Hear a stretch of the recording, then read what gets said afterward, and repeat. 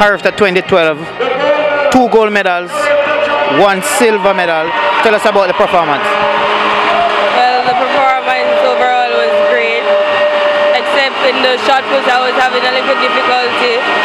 I also had a bad toe again and my shin and all type of injury, but I pulled it off and I got two goals and I said I'm, I'm happy with my performance.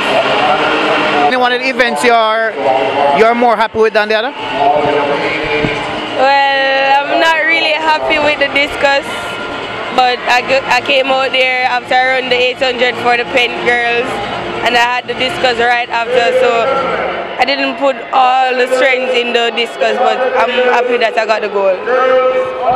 How, how, how difficult was the was the pent um, for you? Um, a lot of events, and of course you would have been doing the, the, the shot put and the discus basically at the same time.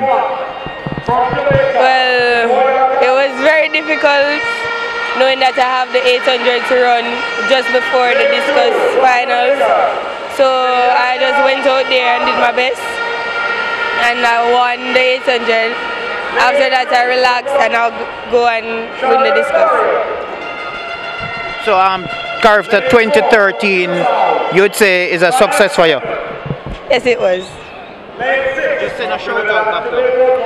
Well, big up Team Jamaica, big up Track Alert for being here.